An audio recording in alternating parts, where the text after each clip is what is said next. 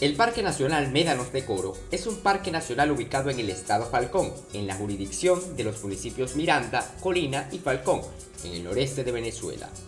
Su área más importante está circunscrita alrededor del istmo, en la vía a la península de Paraguaná, al costado norte de la ciudad de Santa Ana de Coro. Dicho istmo comprende una faja de 30 kilómetros de largo por 5 kilómetros de ancho.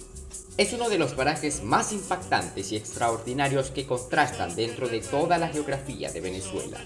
Este paisaje desértico comprende una superficie de 91.280 hectáreas, de las cuales 42.160 son de tierras continentales y más de 49.120 de superficies marinas. En general, el proceso de formación de los parajes desérticos como es el caso de los médanos, que son acumulaciones de arena mejor conocidas como dunas, es un proceso erosivo de la acción constante del viento al chocar sobre las rocas. Sus acumulaciones arenosas se desplazan de forma cambiante debido a la acción de los vientos alisios que soplan de este a oeste su temperatura promedio se logra mantener anualmente y comprende entre los 27 y los 30 grados centígrados.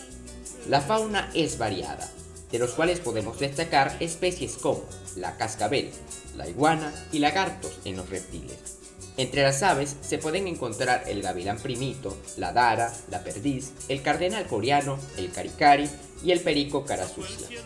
En la zona de manglares y en las playas arenosas son comunes aves como la corjora, la tijereta, el flamenco y la garza paleta. Entre los mamíferos destaca la presencia del conejo de monte. En el área marina se observa el camarón rosado y especies consideradas en peligro de extinción, tales como las tortugas marinas, tortuga verde, cabezona, carey y cardón, además del caimán de la costa.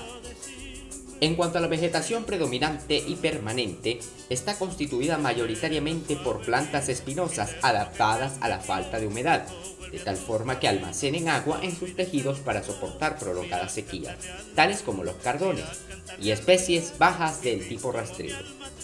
En las costas al sureste de la península se mantiene la presencia de un importante bosque de mangles, además de las especies características de las zonas costeras, fue declarado Parque Nacional el 6 de febrero de 1974 con el objetivo de preservar, proteger, conservar y manejar con criterio de sustentabilidad ambiental los ecosistemas, paisajes y conjunto de valores culturales, geográficos y ambientales que se localizan en la zona noroccidental venezolana, tales como el paisaje desértico de los Médanos.